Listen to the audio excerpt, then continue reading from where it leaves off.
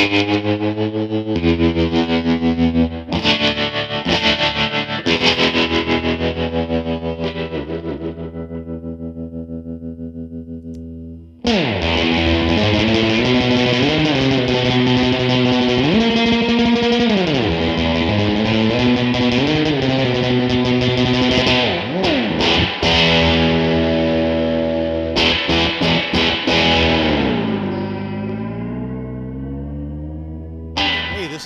60 Cycle Hum, the guitar podcast. Today I'm showing you my little project guitar here. It's a Dean, a Dean Custom Zone. At least I think that's the model.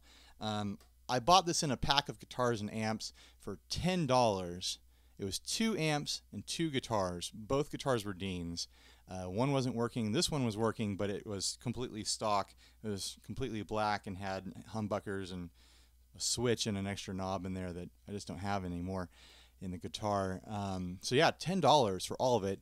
One of the amps wasn't working. The other guitar is kind of, you know, it's ready for scrap. Like the neck is is got a huge crack going down the middle of it. I'll talk about that some other time. But this guy, I was looking at this and it was all black, which I'm not a fan of. I like guitars to pop.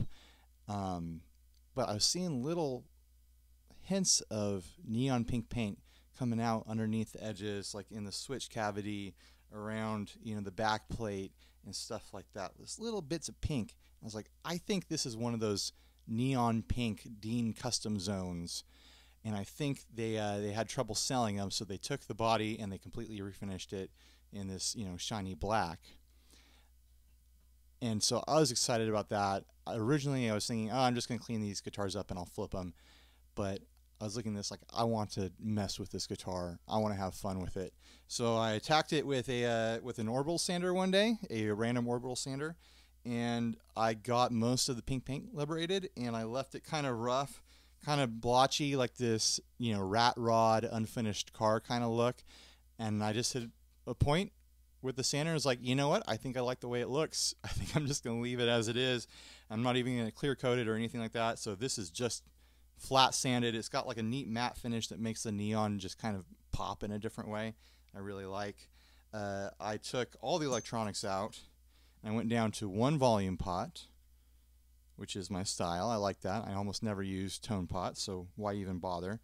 And then I mounted this really neat old Teisco pickup in it that I had laying around. And uh, this thing is microphonic. And it's not the most microphonic pickup I've ever played with.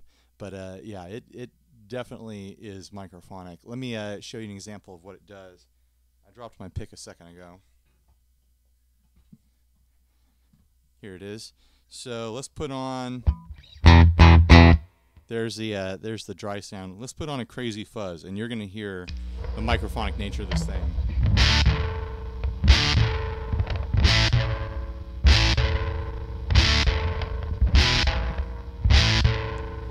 You can hear the pickup either rattling with the playing. It's either the resonance of the guitar or it might be the resonance of the springs behind it. But there's this little splash behind everything you play when you're playing really high gain stuff. Uh, I haven't used this guitar live yet. I don't know if it's possible, if it could handle a lot of volume and a lot of gain behind it. I mean, I don't use a ton of gain for my surf rock band. I use a lot of gain for you know my church playing, but then I'm using in ears and it's a pretty quiet stage. So I might be able to use this for church. Is this guitar churchable? Yes or no? Tell me uh, in the comments, or maybe I'll make a little thing up here, um, a little poll. Do you think this would be too distracting for church? I don't know. I play crazy guitars at church, so it's possible that I could church this thing. Um, I think I'm going to use this as kind of a pickup tester. I don't know if I'll use the Teisco pickup in there forever. I really like its sound. It's got this nasty Link Wray, you know, lo-fi garage rock sort of thing going on that I really like.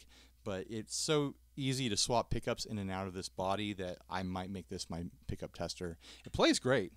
I mean, these guitars, at least the uh, the custom zones from Dean when they're you know they're stock, they can't sell these things for 200 bucks. You see them all over eBay for like 175.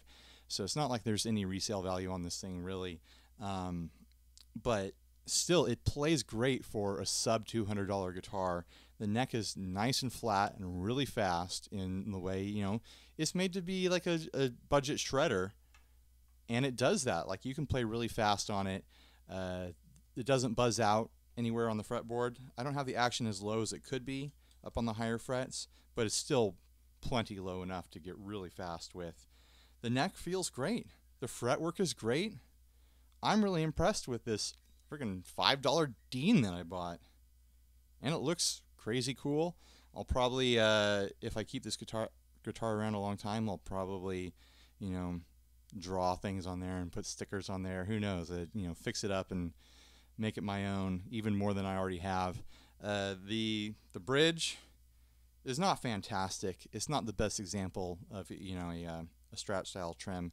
I had to put my own bar in there. The bar that it came with was either like the wrong size or it was stripped or something like that. This one rocks around there in a little bit. I could fix it with some plumber's tape, but for the most part, I can work with that. I'm not going to spend any money on this putting a fancy bridge on it. Um, five springs back there. I'm usually a three spring guy, but I think the uh, the cavity here is a little shorter than normal, so I had to put two extra springs in there to get the bridge locked down to the body the way I like. The tuners are fine. This has uh, decent tuning stability when I really lay into that trem. I mean, I I think this is a great guitar, especially for you know brand new, sub two hundred dollars. You can pick them up, uh, used, as cheap as five dollars. I don't think anyone's ever gonna find a deal like that uh, on the reg, but I'm pretty stoked that I got this thing for five bucks. It, it was a really fun project for five bucks. I got to say, you know, I've been doing a lot of demo work for the past, you know, two years now, and so I've just been focusing on guitars that are sent to me and guitars that uh, that feature things that I'm trying to demonstrate. And I haven't done any big guitar mods for myself or like little builds for myself in a long time, and it felt really like personally therapeutic to take this thing all the way apart, attack it with a sander, like not care how it turns out or what happens to it, you know, uh, drag it around on the ground if I want to. I, I had to uh, sand out the the uh, the little holes here on the side to get the Teisco to fit. Like no big deal. I don't care. Like I'm not losing any money on this guitar. Uh, there was just something really fun about getting back into that experience because I used to do that all the time, and I've just been busy with other things lately. So uh, thanks for watching. I'll close this out with some more playing. Uh, hope you enjoy it.